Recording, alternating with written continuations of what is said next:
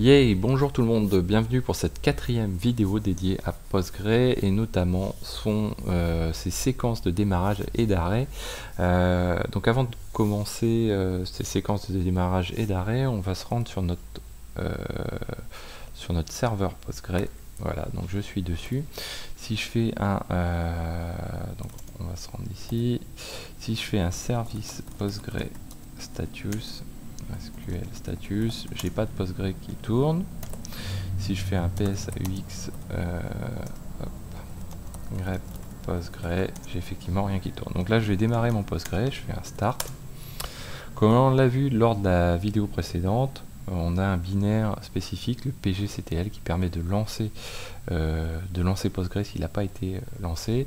alors, ce que je veux simplement vous montrer, si je fais un PS, bah, PSAUX Postgre ici, vous pouvez vous apercevoir que en fait, euh, on a, suivant les versions de Postgre, c'est pas forcément le PGCTL qui est lancé, mais euh, voilà, par souci de cohérence, Postgre, il y a eu des évolutions en termes de nom, euh, notamment au niveau du binaire PGCTL. Là, on a un, au lancement de Postgre, via systemd, on a un binaire qui s'appelle Postgre qui, qui, lance ce PGCTL, quoi, en gros. Euh, avec des éléments de configuration qui sont importants à avoir, deux éléments. Donc le tiret grand D qui est la localisation, le tiret grand D, voilà, qui est la localisation euh, des datas euh, et des éléments, des fichiers utilisables par, par Postgre, et le tiret petit c qui permet d'avoir les éléments de configuration utilisés par votre binaire et donc par votre moteur Postgre. Euh, voilà, donc ça c'est important à avoir ça en tête. Autre élément, euh, si vous regardez donc le status voilà, de systemd de Postgre, si vous allez checker le contenu du fichier vers lequel pointe euh, ce systemd, bah, vous pointez vers un binaire bin-true. Je trouve ça assez un petit peu désagréable quelque part. Mais si on veut avoir les, commandes de lancement euh, d'utilisation de notre service système D, vous faites un etc init.d postgre postgre et là vous retrouvez euh, vos commandes système D euh, on va dire classiques voilà donc on va revenir à notre présentation donc là euh, le but aujourd'hui c'est de voir la séquence de démarrage et la séquence d'arrêt de notre cluster Postgre. Alors la séquence de démarrage elle est importante, hyper importante pour un moteur de base de données, euh, notamment SQL. En NoSQL c'est un petit peu différent, la consistance des données parfois euh, bah, certains moteurs l'occultent un petit peu. au niveau base de données SQL c'est hyper important, la cohérence de données, la réponse au caractère acide est extrêmement important. Euh, donc la consistance de la donnée, c'est quoi? C'est tout simplement bah, quand on arrête euh, un moteur, que tous les éléments relatifs à ce moteur, euh, tous les fichiers, s'arrêtent tous au même moment, à la même timeline. Et quand on redémarre, on redémarrait dans un état où tous nos, nos, transactions ont bien été réalisées et, se sont arrêtées toutes au même moment et qu'on n'ait pas euh, quelque chose d'incohérent, c'est-à-dire euh, bah, une table qui va être renseignée à un moment n plus 1 et puis une autre table qui va être renseignée à un moment n. Je schématise, mais c'est un petit peu ça euh, l'objectif. Et c'est aussi bah, la capacité à gérer la récupération des données manquantes. Alors, le démarrage, première étape, bah, c'est l'affectation des ressources. donc l'affectation notamment de la mémoire partagée, la shared memory, et de ce qu'on appelle la shared buffer, euh, la mémoire, on va dire, un peu principale euh, de notre moteur. Par défaut, elle est à 128 mégas euh, d'allouer. Ça peut, c'est un paramètre qui peut être touché notamment dans le postgres.conf. Et justement, dans l'affectation de ces ressources, Postgre va aller justement lire ce postgres.conf dans cette première étape pour pouvoir récupérer ces éléments d'utilisation et savoir quel fichier notamment il va pouvoir utiliser pour paramétrer bah, son cluster Postgre. Ensuite, la deuxième étape extrêmement importante, c'est euh, l'objectif pour le moteur, c'est de savoir où il en est, où il s'est arrêté, et si éventuellement, bah, peut-être simplement il est en train de démarrer euh, pour la première fois, et dans ce cas-là, il va falloir qu'il crée ses premiers fichiers de contrôle. Fichiers de contrôle qui permettent tout simplement de savoir euh, bah, où, il en est, euh, où il en est arrêté, donc quel fichier était utilisé pour la dernière fois, par exemple, en termes de data, quels sont les, fichiers de configuration aussi.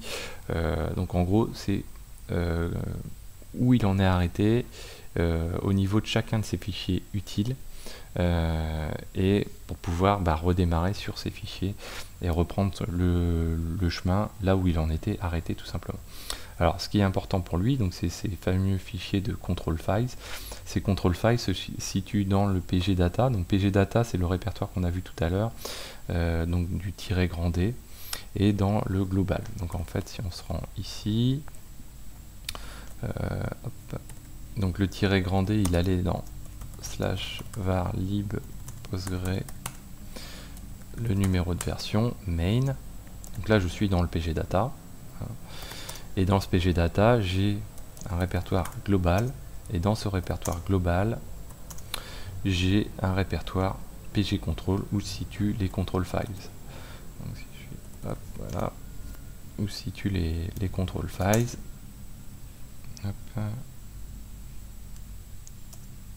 Euh, oui, hop, voilà.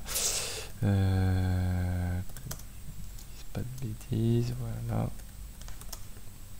Donc c'est ce, c'est ce comment, ce fichier qui permet d'indiquer euh, l'état de l'état de de notre moteur tel qu'il s'est arrêté la fois précédente ou quand il est en train de redémarrer tout simplement. voilà. Donc en fonction de cet état où il s'est arrêté, il va euh, chercher à savoir s'il y a une récupération nécessaire des données qui est réalisée. Alors dans quel cas il y a besoin de récupération? C'est tout simplement quand l'arrêt a été fait de manière brutale, pas de manière gracieuse en gros. Euh, et dans ce cas-là, donc s'il y a un besoin de récupération, il va aller pour vérifier s'il y a un besoin de récupération, il va aller regarder ce qu'on appelle des checkpoints. Ces checkpoints, c'est quoi? C'est des qui sont posés, des jalons qui sont posés à intervalles réguliers, soit par intervalle de temps, soit par intervalle de, taille. On verra ça un petit peu dans le détail. Et euh, ces checkpoints permettent de dire voilà, à ce jalon-là, j'ai un état cohérent et euh, bah, si je me lance à ce moment-là, j'ai pas de récupération nécessaire. Je suis up, euh, tu peux démarrer, le moteur peut démarrer en toute confiance sans action nécessaire. Si c'est pas le cas, bah, on, a besoin d'une récupération, puisqu'en fait le dernier jalon a été posé, mais on a eu des actions qui ont été réalisées depuis, et du coup bah, le moteur doit réaliser euh, des actions. Donc pour lui, bah, quand on a une récupération nécessaire, c'est de se dire, voilà, on a des datas qui contiennent un certain nombre de transactions, Hein, qui reflète en tout cas un certain nombre de transactions. Mais du coup, euh, bah, si je me lance comme ça, euh, il va me manquer des datas. Donc il va falloir que je complète ces datas. Euh, donc ces datas qui sont contenus dans des data files. et à ce moment-là, pour compléter ces datas, Postgre, le moteur, va aller les chercher dans ce qu'on appelle le wall, le write ahead logging. donc c'est des fichiers spécifiques qui enregistrent toutes les transactions. Et donc les datas qui sont enregistrées sur disque vont être complétées par ces fichiers de transactions. Donc Postgre, le moteur, va aller rejouer les transactions une à une pour pouvoir compléter ces transactions manquantes.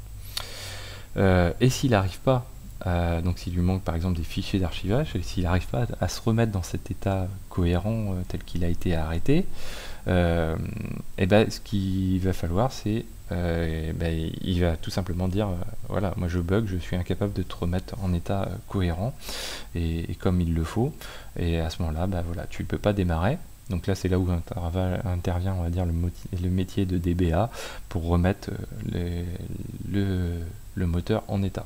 Sinon, si on n'était pas dans un état où il y a une récupération nécessaire, ou si en tout cas le moteur a tout remis d'équerre lui-même, mais à ce moment-là, première étape, le moteur se remet en mode écoute, donc sur le port 5432, et dans un deuxième temps, il autorise les nouvelles connexions sur ce port.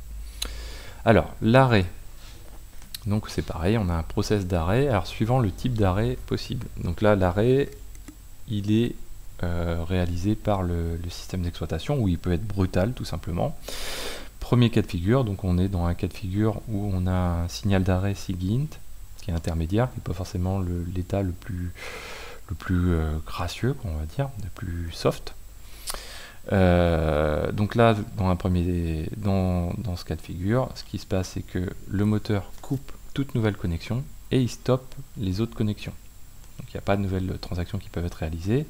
Et ce qu'il fait, bah, il coupe les transactions en cours et il fait un rollback dessus, puisqu'il ne va pas les laisser se terminer, puisqu'on est dans un état intermédiaire, donc il a besoin de s'arrêter très rapidement, très très rapidement. Et dans ce cas-là, bah, il s'arrête, même les transactions en cours, il les arrête et de manière à pas avoir n'importe quoi en base, il va revenir en arrière sur ces dernières transactions qui ont été passées.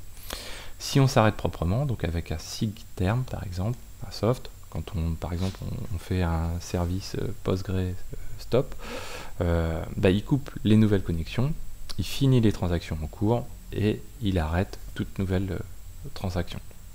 Et dans ce cas-là, on a un arrêt propre qui est réalisé. Euh, dans tous les cas, quand, euh, il y a un arrêt, qu'est-ce qui se passe? Donc il y a euh, l'écriture d'un checkpoint, sauf si on a un arrêt très brutal qui est réalisé. l'écriture de la mémoire sur le disque. Donc là c'est pareil, quand on est dans un arrêt propre, donc c'est-à-dire tout ce qui était écrit en mémoire, toutes les transactions écrites en mémoire, il va les écrire euh, sur le disque, donc dans les data files, et il va mettre à jour les fameux control files dont on a parlé dans la première étape, pour pouvoir savoir quand il va redémarrer, euh, dans quel état il est et euh, où il doit redémarrer. on peut prendre suivant les data en mémoire. Donc oui, ça peut prendre pas mal de temps, effectivement, cet arrêt. Euh, si euh, donc l'écriture du checkpoint, là ça peut être assez rapide, mais par contre, si euh, la volumétrie des data en mémoire est assez important, bah, l'écriture sur le disque peut mettre plus ou moins de temps, ce qui peut expliquer que le moteur met un peu de temps à s'arrêter parfois.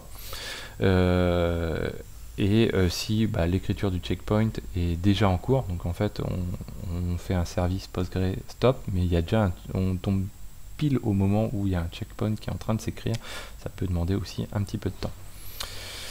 Euh, et puis dans l'arrêt le plus brutal possible, donc le SIG euh, quit, euh, donc là il n'y a pas de checkpoint qui sont écrits, il n'y a pas d'écriture des datas sur disque, donc là on perd potentiellement tout ce qui est en mémoire. Il n'y a pas de mise à jour des control files, donc du coup quand il va y avoir un redémarrage, ça va être en mode recovery, et là bien sûr on a des pertes de transactions, puisqu'en fait tout ce qui était euh, en mémoire n'a pas été écrit sur disque. Les control files et les checkpoints n'ont pas été écrits, donc le moteur Postgre, lui, va être incapable de redémarrer euh, au, bon moment. Vous êtes obligé de redémarrer dans un état, euh, c'est-à-dire avant tout ce qui été écrit en mémoire, globalement au, dernier checkpoint pour avoir un état un peu cohérent. Voilà, donc on a balayé dans le détail ce démarrage de, de. Euh, j'espère que cette vidéo vous a plu, n'est pas trop longue et je vous dis à très bientôt sur Xavki.